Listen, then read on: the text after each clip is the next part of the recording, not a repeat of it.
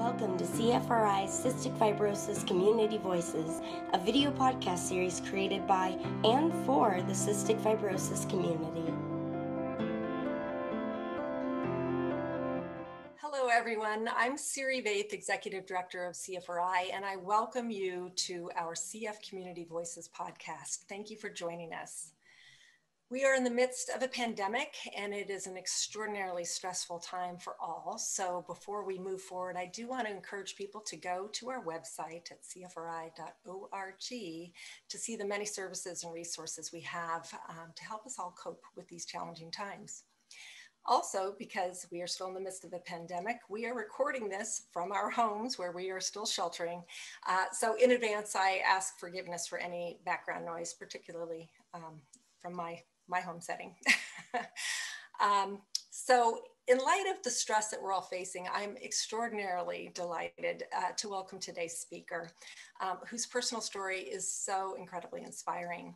Um, before I introduce her, I do want to remind everybody that nothing that is shared today should be used to make any changes in your medical regimen. And prior to making any changes, please consult with your healthcare team. And I also want to thank our sponsors of this podcast, Chiesi USA, Viatris, and Genentech.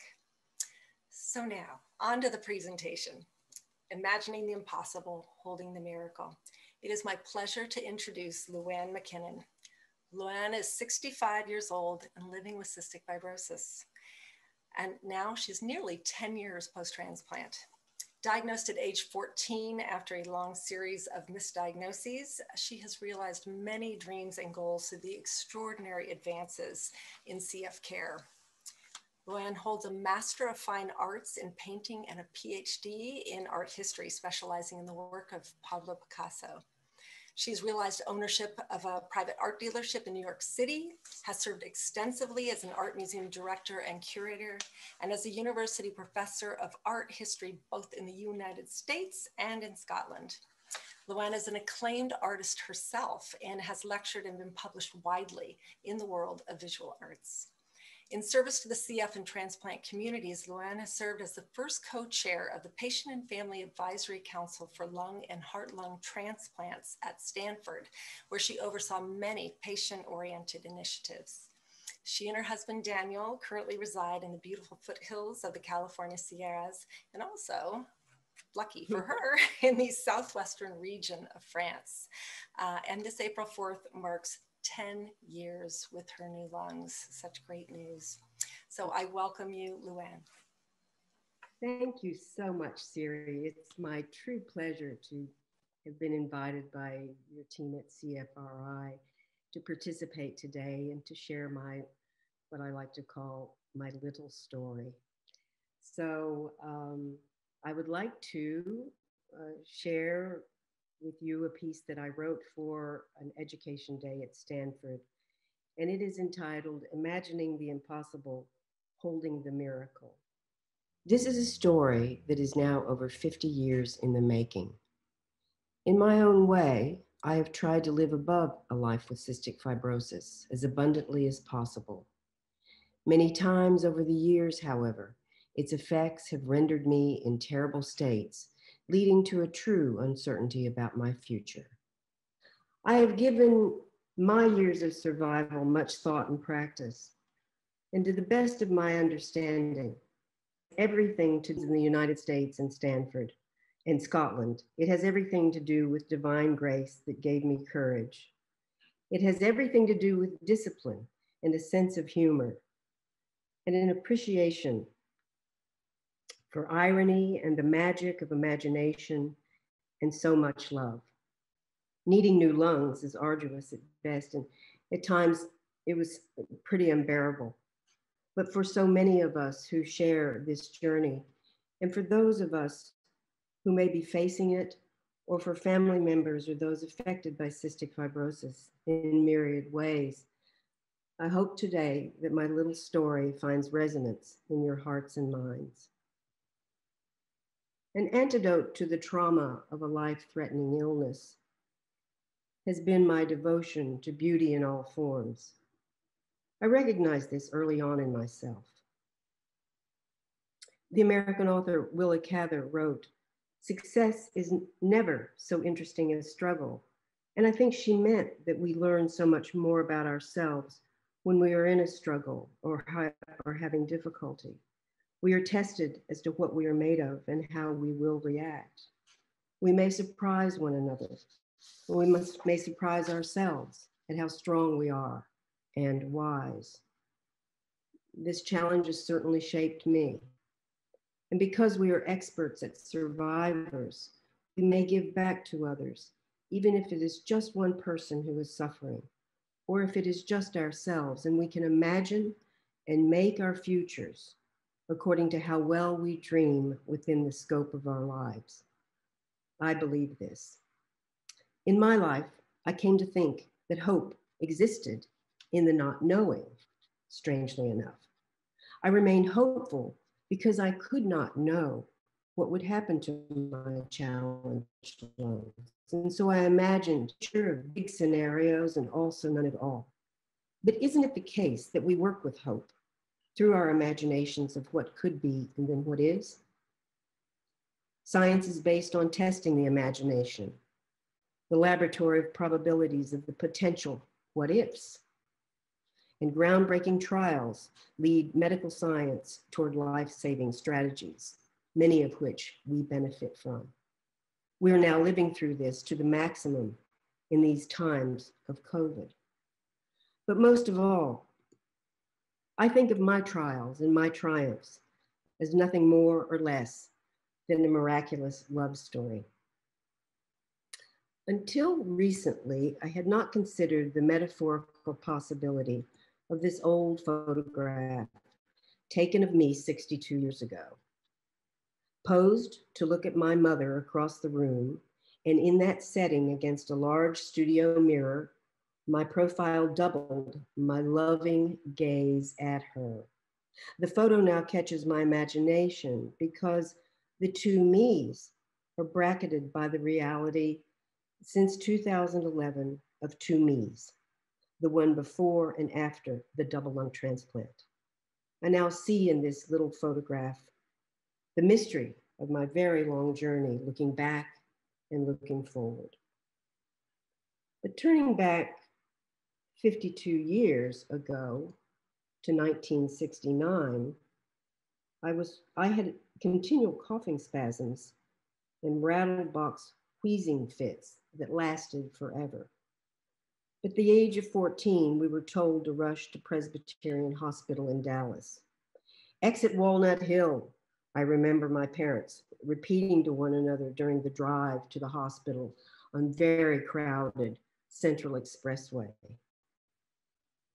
I spent the Christmas period there.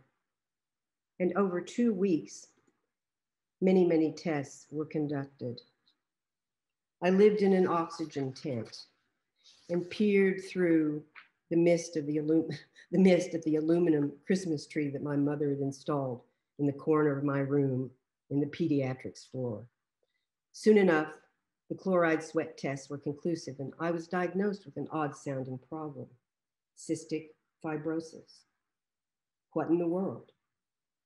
My parents were informed that there was no cure, and they were advised not to expect much of me. At the time, there were no campaigns to kiss your baby for saltiness that swept the country in the 1980s, like on bus ads across the country. No routine to test parents who might be CF carriers. No real medications that might address the disease rather than merely the symptoms. No genome project or pharmacological breakthroughs for help. So to fear this thing that doctors could not heal registered heavily with my parents, especially my mom.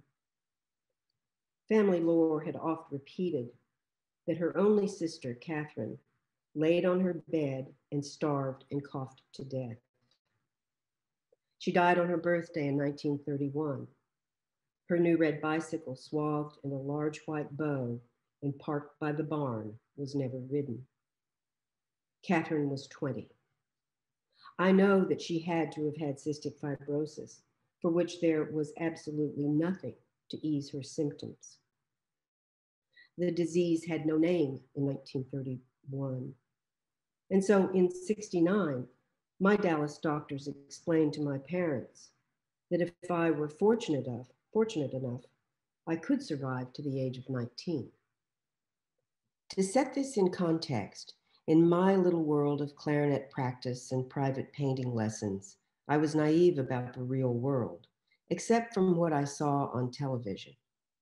Against the reality of my diagnosis and a new family dynamic that was fraught at best, given my life sentence, I watched the throng of half a million kids at Yasgur's farm for the rock festival protest, Woodstock, and was amazed and felt so far from them. This was an event that I knew I could never participate in given my health.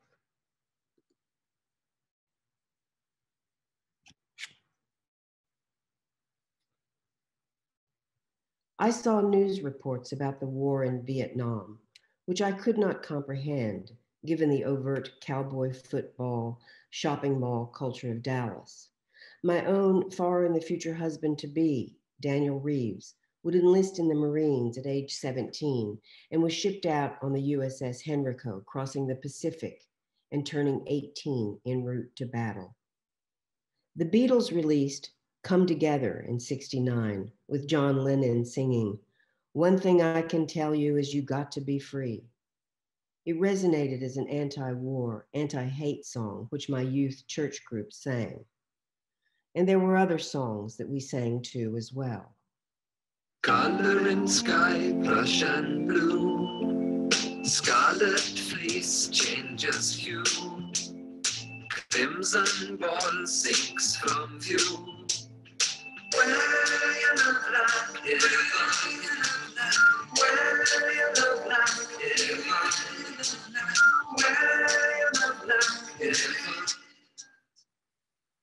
But above other news in 69, men had landed on the moon. Every television set on the planet broadcast the fuzzy NASA pictures that roused worldwide glee and astonishment. 60 seconds. On. Forward. Forward. 20 feet down, two and a half. Pick up from dust. Feet down. Four forward, drift into the right a little. 30 seconds forward, drift. Contact light. Okay, engine stop. We copy you down, Eagle. Houston, uh, Tranquility Base here. The Eagle has landed. But for reasons buried in my subconscious until April 4th of 2011, the triumph of Neil Armstrong and Buzz Aldrin walking on the moon became a metaphor for my journey in breathing, for facing the impossible, or so I thought. On that April day, the date of my lung transplant, the image of a solid, solitary astronaut standing on the moon came to me in a vision like a good omen as I was wheeled towards surgery. But to backtrack a little bit, I not only lived to be 19, I committed myself to envisioning a big future. I went to college in Europe, in Rome, in 1975. Even with CF, even with cystic fibrosis, I told myself everything still seemed possible. The freedom that I felt that very year, the year I was to have expired, to have died, was exhilarating. I could do this. I would not fear, I told myself. Traveling once classes had concluded each week, I packed chest x rays I was instructed to have with me at all times, a clunky DeVilbiss 35B nebulizer, saline packets, and glass vials of Mucomyst. I hauled that stuff in a duffel bag and headed out of Rome's train station for Tuscany, the Rhine River, Delft country in Amsterdam, the ancient theater at Delphi near the Temple of Apollo, and to Paris, of course. I obeyed my nebulizer routine to a T. I boiled ordinary tap water on a little hot plate to sterilize the neb components. Traveling from country to country where electric currents changed and outlet plugs differed wildly, I brought a wardrobe of AC DC adapters as if they were language translators.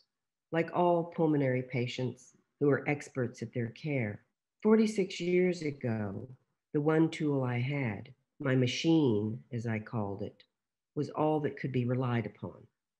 But I was excited. I was so excited. Yes, I was sick sometime, but I felt that if I lived to the best of my instincts and I followed the Pulmo regime and I took my pancreatic enzymes, that if I imagined that I could do and be in this world and not be defined as a sick girl, then somehow, and hopefully most of the time, I would not be.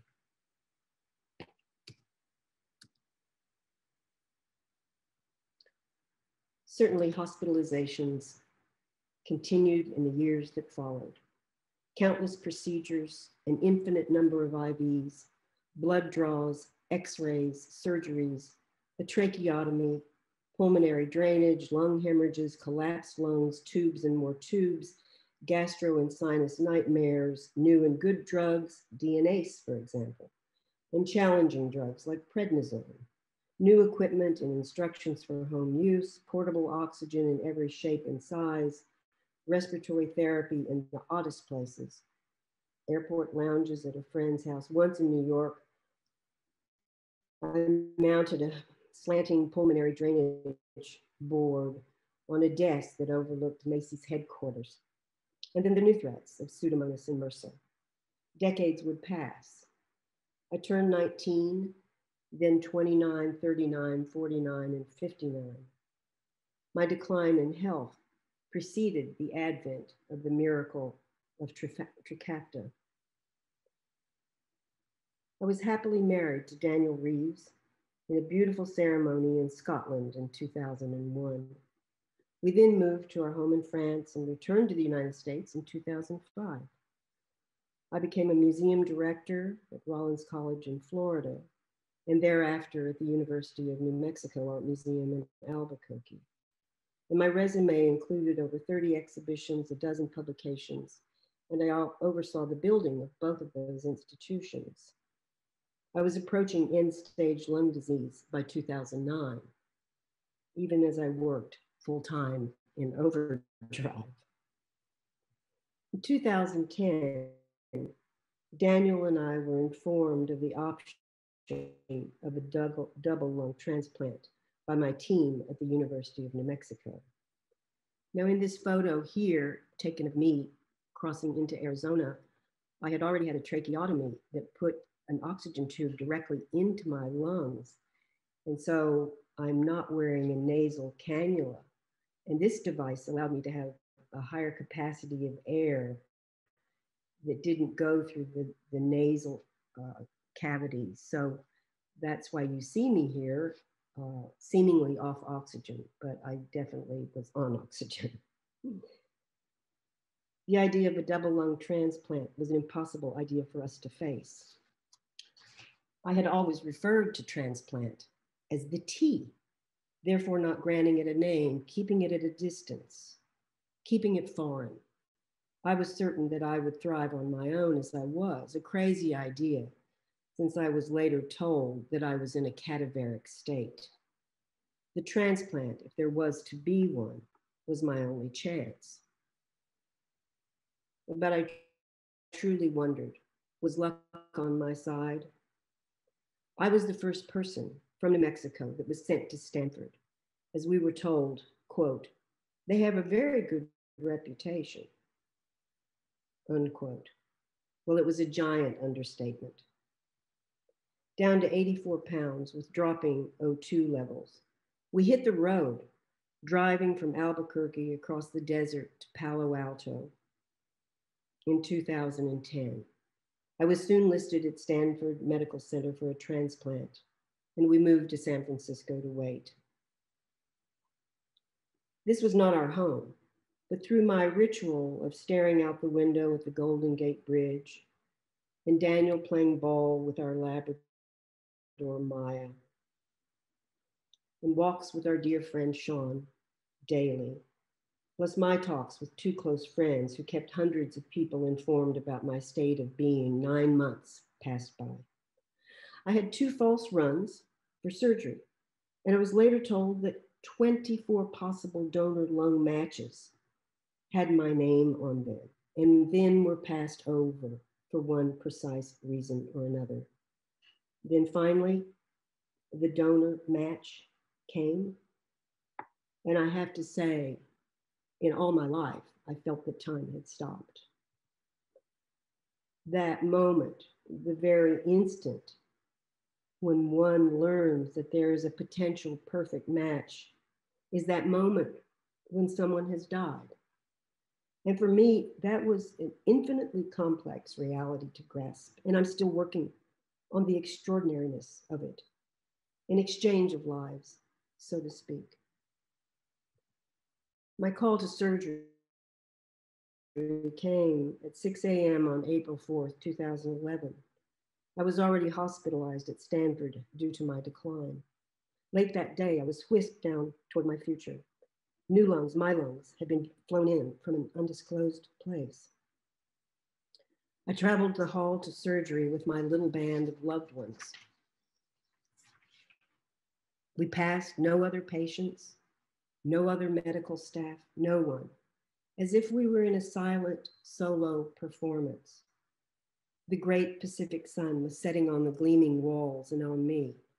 Its warmth was a palpable reassurance. If it were to be the last thing I knew of this life, it was a good and benevolent gift. I was wheeled to the entry of the surgical unit, and we slowed down before making the turn. I gave Daniel a final knowing look. Do not worry, sweetheart. I needed to convey this to him. Once inside the doors, I raised my two very skinny arms in a triumphant gesture. This time, this place. Uncannily, the men on the moon came to mind.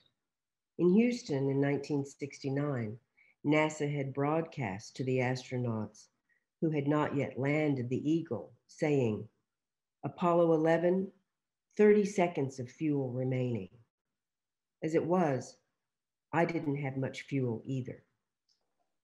But I thought as we made a wrong turn, passing by the large stainless steel table of sur- surgical saws and knives that gave me the biggest scare of my life. Oh, well, never mind, I thought. I will suit up like the astronauts and go somewhere that few people go, and I will enter a realm unknown to me. And I will survive and come back to this beautiful earthly plane. I will be on a journey that could save my life. There was no dimension to this very brief vision. In a state of free flowing and not knowing, the seemingly impossible was overcome as my body began to hold the miracle of new lungs. I would survive despite the ordeal of what my surgeon, Dr. Hari Mallidi, told Daniel was something like, quote, being hit head on by a Mack truck. The state of coming out of transplant surgery remains to this day one of the hardest things to describe, but I can say that I knew I had come through it and I was aware that the physical trauma of the operation would be incalculable for some time. And it was, despite the extraordinary care that I was provided in all ways. In my case, an incredible medical team managed the mechanics of the surgery. And, and the top row of surgeons, my surgeon, my head surgeon, was Dr. Hari Mallidi, and the other three doctors were on my medical team. Uh, the search for my lungs and the management, the administration, and the coordination of my lungs was organized by the great Dr. Weill, who's at the top right. And then on day two, I somehow managed to walk, and here I am with my brother who flew in to help me. And Daniel is the photographer here. One afternoon, it slipped out that the surgeon who was checking on me mentioned flying to procure my lungs from an anonymous donor and bringing them back to Stanford, secured in a blue Tupperware carrier of all things. I gasped. We both knew at that moment that he had revealed a fact that was to be kept a secret. But I cajoled him into having a picture made, explaining that I was a writer and that it would figure into my story one day. And so it has.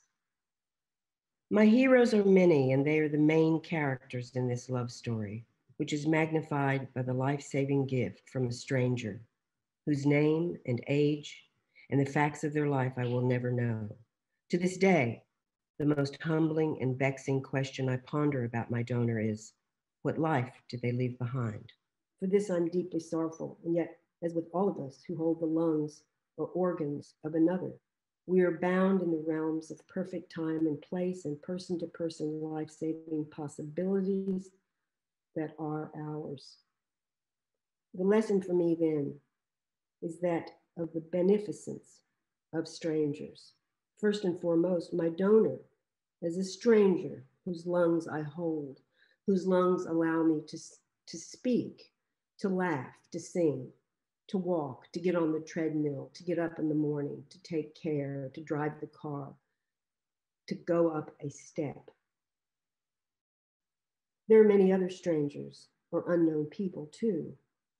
I often thought, who fueled the helicopter to obtain the lungs? Who flagged the pilot and surgeon to safety, safely land at the other hospital and look ahead at air traffic and weather reports?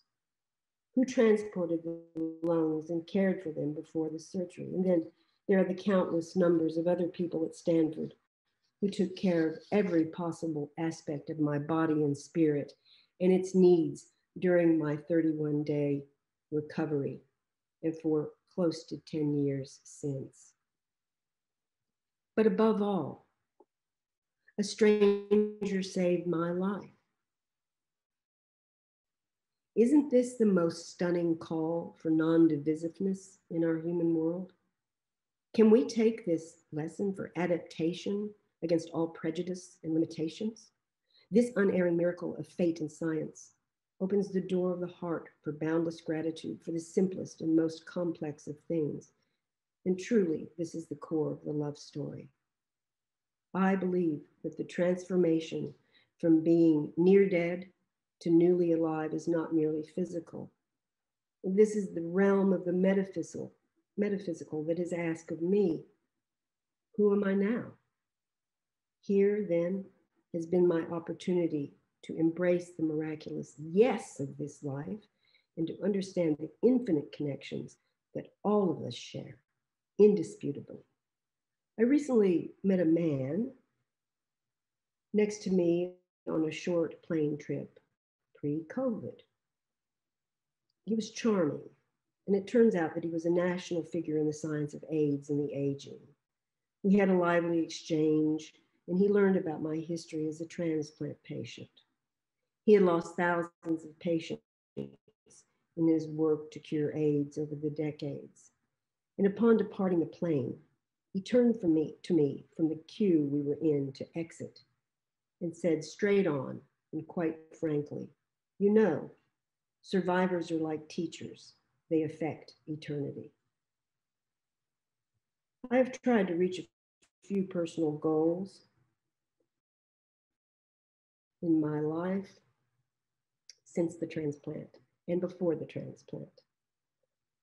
I have tried to engender compassion for all living things in my path and to love and care for my husband, my family, and friends and to celebrate nature and beauty.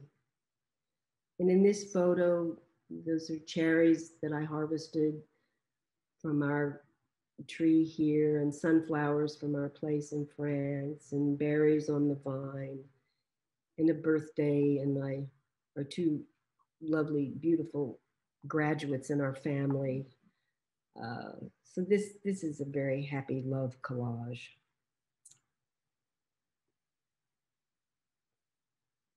I'm devoted to wearing my mask, and I always have been. I'm devoted to taking my meds on time each day. I'm devoted to pump some iron and do it again. And then, because I have new lungs, I can take a walk in the light. And here I am with my 89 year old dad in the California redwoods. In service to our community and in everlasting honor of my donor, with thanks beyond measure to Daniel, my family and dear friends and caregivers, to my Stanford medical team, to all those who work tirelessly to find a cure for cystic fibrosis, and to all of you who are tuned in today. I am simply Luanne McKinnon. Thank you so much for listening.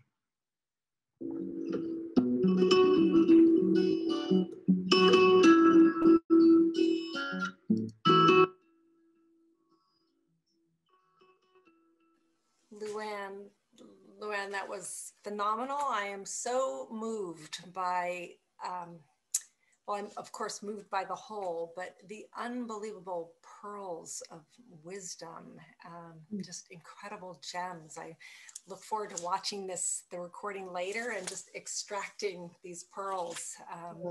really so many lessons to live by. Thank you so much for sharing your story. That was beautiful. And I also can tell you're an artist just by virtue of everything you shared, the way it was put together, but even you know the selection of photos, just so beautiful how they conveyed your message. So thank you very, very much. Thank you so much. Thank you.